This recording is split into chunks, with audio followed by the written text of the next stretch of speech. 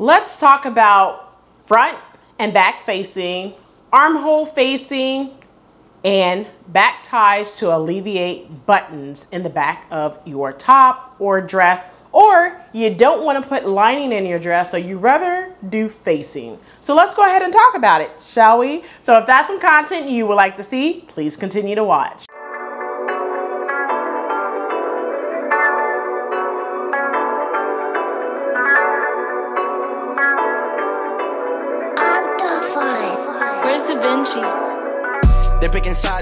Hey everyone, welcome or welcome back to the channel. My name is Rochelle from Rochelle Handmade Designs and in this video I am going to be showing you guys how to draft front facing, back facing, how to create a tie in the back of your top. Now I'm not going to be cutting out fabric but I'm going to show you how to draft it and then in another video I will show you how to add it to the back of your top when I'm creating a top or a dress that requires a button in the back, then I'm able to show you how to put those ties on. But I'm just gonna be drafting in this video, all right, to keep it short, sweet, and to the point. Also, I'm gonna show you how, if you do not want to do lining, and you want to alleviate the lining, I have a video, but I'm going to put it in here how you could just draft front and back facing to alleviate the lining. All right. And then another thing I'm going to do now, the pattern that I'm going to use, it actually has sleeves, but I'm going to show you how you could draft armhole facing to alleviate using bias tape. Now, you guys have heard me say it before that I'm not a big fan of using bias tape along the neckline or the armhole. All right. So I always opt to create facing pieces in order to do that. And I'm going to show you how you could create armhole facing two different ways. All right. So without further ado, uh, let's go ahead and get started. But before we do so, and if you are new to the channel, welcome. Hello, ciao, guten tag, aloha, hola, konnichiwa, wagwan, sambanani, salon, bonjour. If you are returning, you guys know what to do by now. Go get you a quick snack, something to drink, come on back so we can go ahead and get into this video. So without further ado, I'm going to say this real quick. I am dealing with a headache. However, I wanted to get this video to you because you guys asked last week about if I could create a video for for you. And I did some drafting that day but I had to put it down. So I'm just gonna do it all today all in the video and then I'm gonna go ahead and lay down all right? So without further ado let's go ahead and get right on into this video. All right so let's go ahead and get into this drafting front back armhole and creating some neckties.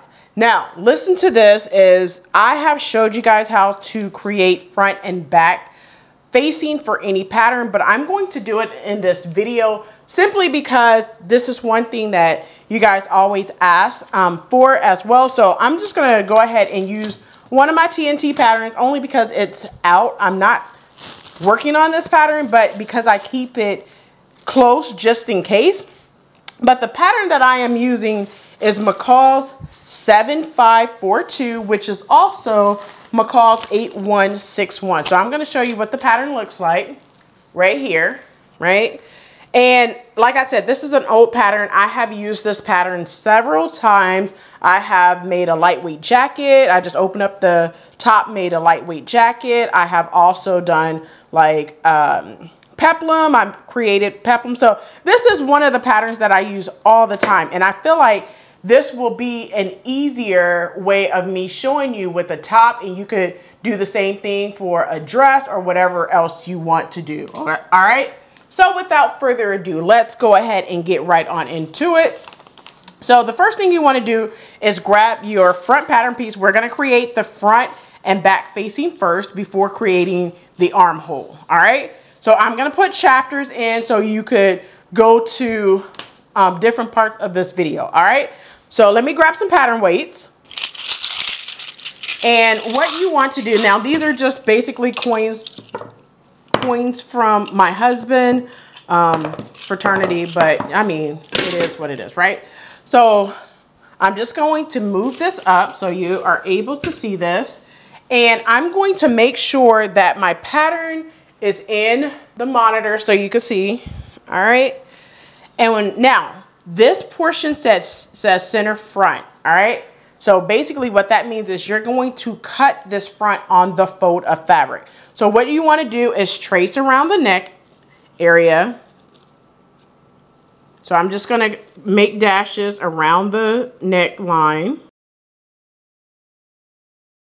Now you can transfer this notch that you see right here. Next thing I'm gonna do is right at the center front, I'm gonna take my ruler. Now I have a see-through ruler, a hip curve ruler, and then I have my SA curve ruler, okay? Now, you can no longer find the SA curve ruler, which is why I grabbed my hip curve ruler as well, and then I have my uh, see-through ruler. Now, what you wanna do is from the top, you wanna go down three inches and make a dot and bring it, make dashes all the way back up to the neckline. All right. You want to do the exact same thing at your armhole area or your shoulder seam, I should say. Right. So basically, you're going to do the same thing. Make sure you go out three inches and bring it all the way back to your neck area. Just like so. All right. Now, all you're going to do is move this front pattern piece. Now, this says AB, but you could do it for any size. Before you ask me, can I do it for any size? Yes, you can. I'm just to put that back in there. Now, what I'm going to do is I'm going to switch over to a pen only because you guys probably can't see this in a pencil. So I'm going to switch this over to a pen, trace the marks that I have already made. All right, so that's the front pattern piece. Now I'm gonna take my see-through ruler and what I'm going to do is I'm gonna go from this corner and I'm gonna mark three inches out. And I'm gonna do that all the way around. So I'm just gonna make a dot right there. From this line, make a dot out and do it all the way around that curve of your neck area. So go ahead and do that now. Now, all you want to do is make sure you grab like the curve part of your hip curve ruler. You probably don't have an SA curve ruler, so I'm just going to grab my hip curve ruler. And I'm just basically making sure that the lines meet up. The dot that I made. Just make sure that you are able to definitely meet those lines and just make a curve all the way back. Make sure you do not have a straight curve though. So I'm just going to use this portion and connect the dots basically is what you're doing. All right. Now I have a curve, uh, like a sharp point right here and right there. So all I'm going to do is take the tip of my hip curve ruler. I like doing this with my SA curve, but I'm going to show you with the hip curve what to do when you have that. You just take it and you just basically make a curve. Then that way you don't have that sharp edge and I'm going to get rid of that this sharp edge just like this. So basically this line right here, I will not cut out, all right? And then because this is cut on the fold right here, because that's your front, you're just going to put front facing you could, and then put the pattern that you're using.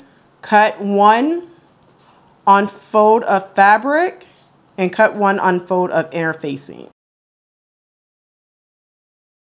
And then you're gonna cut it out. Now, one thing I will mention is I like to put a notch right here halfway through. So a half of three is one and a half. So I'm gonna put a notch right here. Just a marking for a notch, all right? And this is your center front. All right, now that's your front facing. So we already did our front. And really what, what it's gonna look like is if you put this, you'll notice that your facing, you could probably see this just a little bit, is right underneath. That's what your facing look like, all right? Now go ahead and grab your back pattern piece. Now, I wanna say this. This pattern that I am showing you already have uh, facing pieces, and I'm gonna show you this. It has your front and your back facing. So when you look at the facing piece, this one is the front. You see how it says fold? Well, that's because the front of the pattern says fold, all right? So if I do it like this, yes, it is a little bit bigger. I did mine at three. This one looks like it's about one and a half. It's up to you how wide you want yours to be. Um, but I just like to go with three inches because it covers a lot, all right? But if you want to do one and a half, just make sure you go all the way around doing one and a half, all right? Now let's go ahead and do our back pattern piece. It's the same thing. So go ahead and place your pattern piece down. All right. And then what you're going to do, let me move this to where you could definitely see it.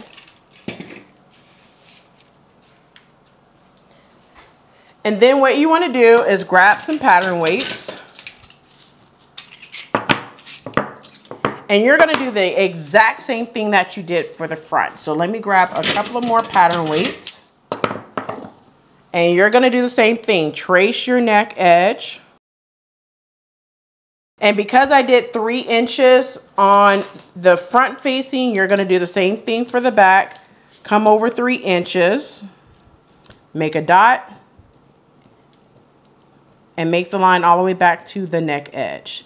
Then you're going to do the center back seam the same way. You're just going to go from the top to the bottom, mark out three inches down from the top, make a dot. All right, move your pattern pieces. And then you're going to do the exact same thing that you did for the front three inches down from the top all the way around.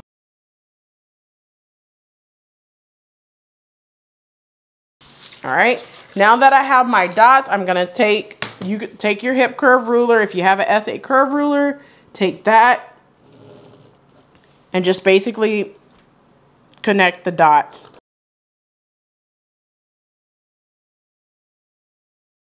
All right, so that's what my facing look like. And this is the back, so you want to put a double notch there for the back. So I'm just going to make a notch, two notches at the center back. And then I'm just gonna make one notch right here at the shoulders. All right, so the one notch right here is the shoulders and this is the center back. So I'm to write center back right here. Now you want to label your pattern piece and I'm to write back facing. Let me get another pencil or pen, something to write with. And because the back, like you've seen on the back pattern piece, it's cut two for the back because there's a, uh, this is going to be folded 5 eighths of an inch seam allowance, but I'm going to show you how you put ties at the top, all right? So you're going to cut two. So what you're going to do is back facing, cut two of fabric, and cut two of interfacing. And then you're going to cut this pattern piece out. All right. All right, so we have done the front and the back facing. Now go ahead and grab your front and your back pattern pieces. Now I'm going to move this paper off to the side for just one second. And I'm gonna show you two ways of doing your armhole. How you can draft some armholes. All right. Now I have my front and my back pattern piece. All right. So the first way that you can do this is simple. What you can do, I'm going to show you the first way on paper. All right.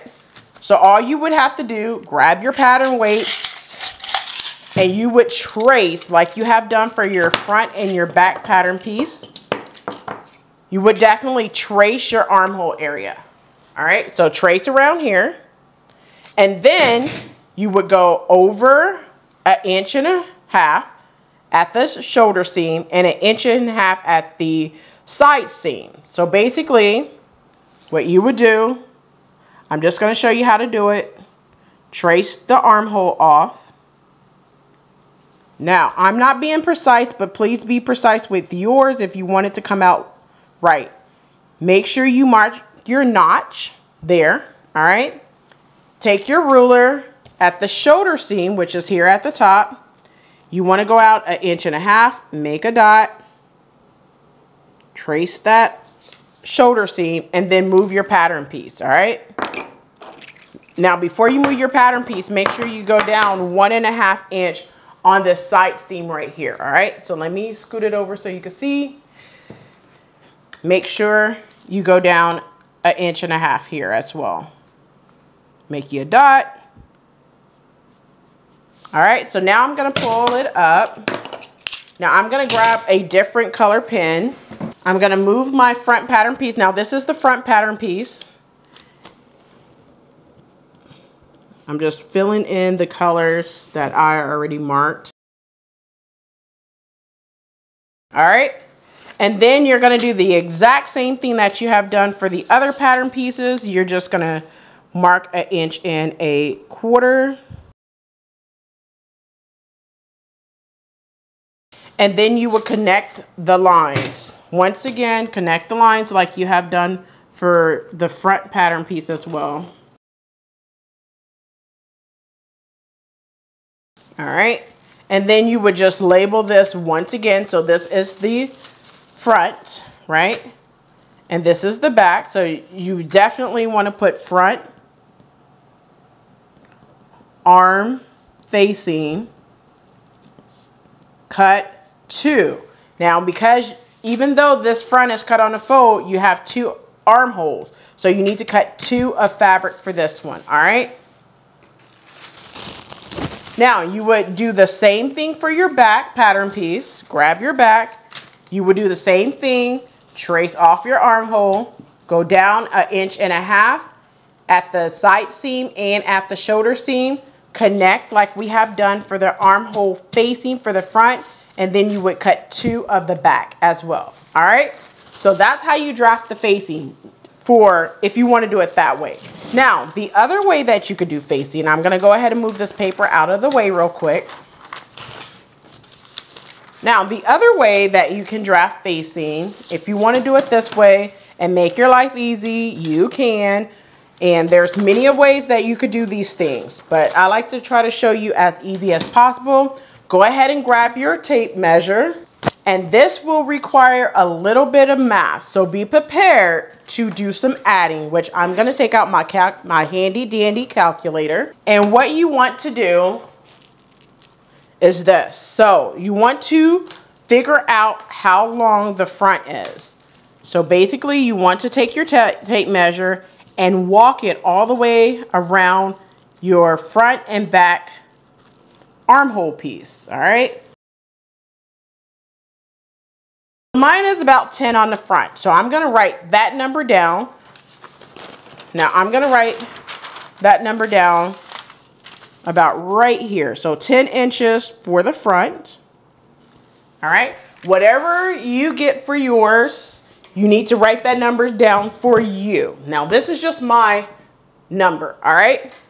Now, you want to do the same thing for the back.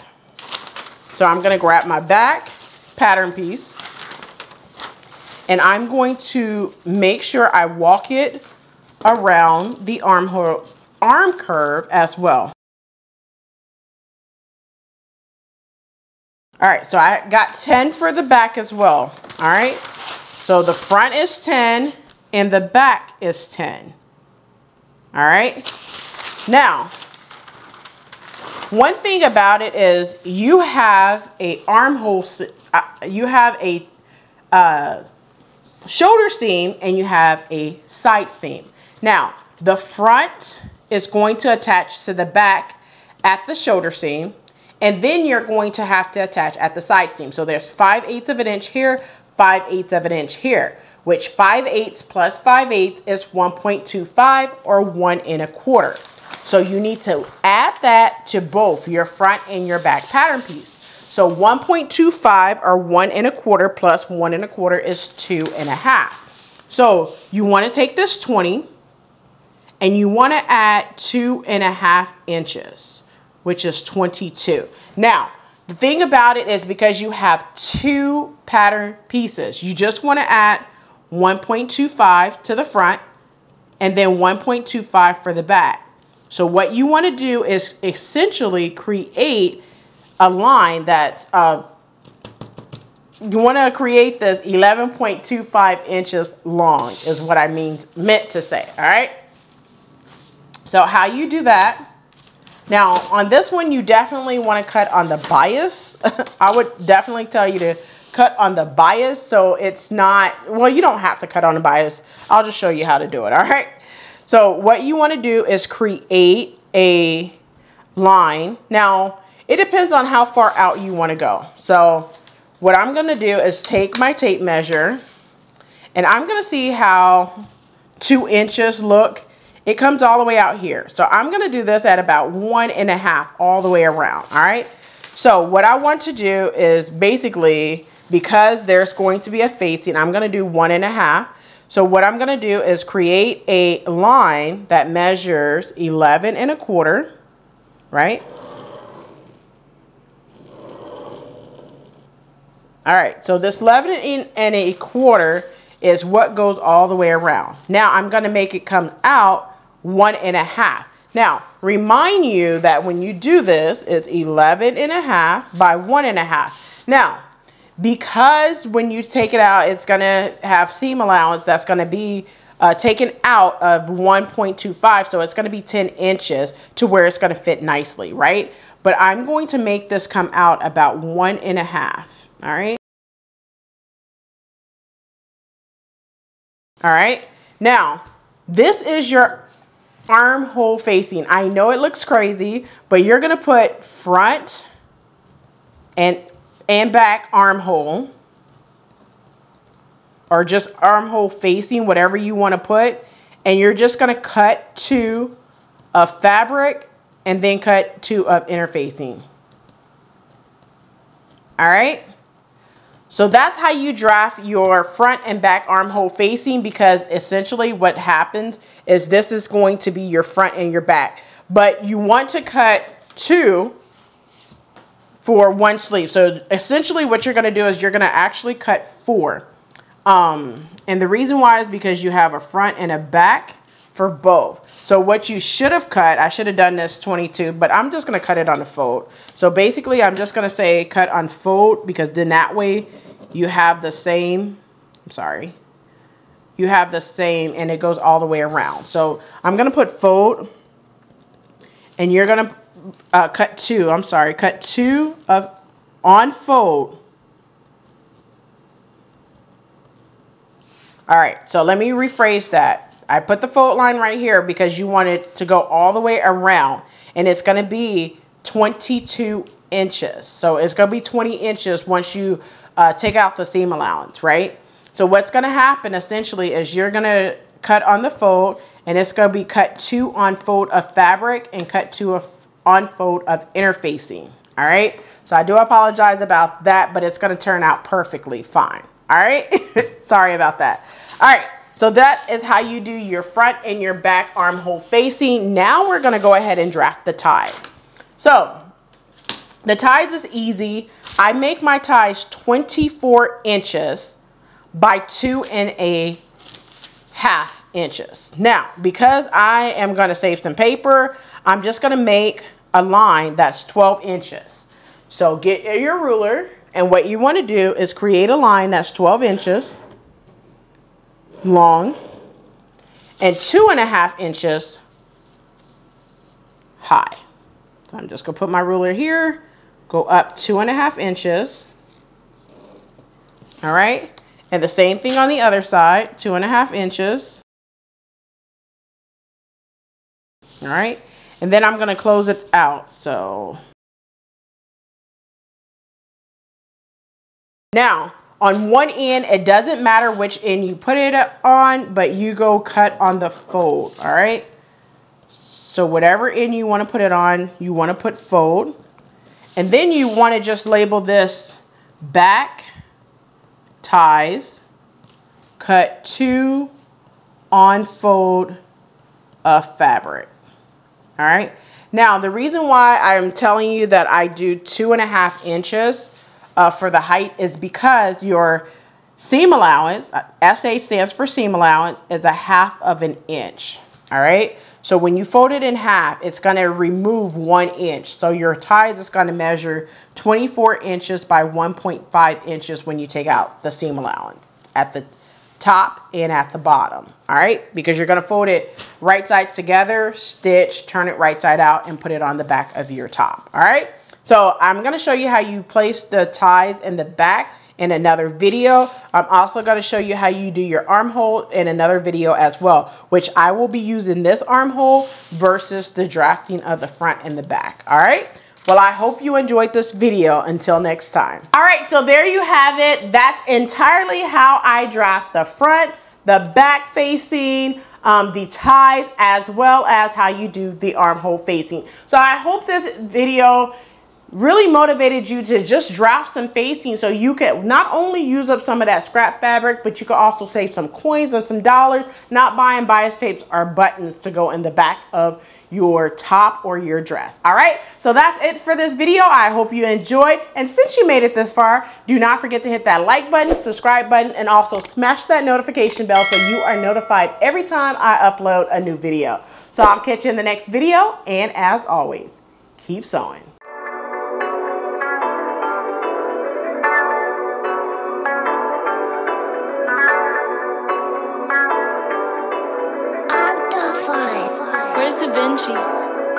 They're picking sides, they're crossing the line.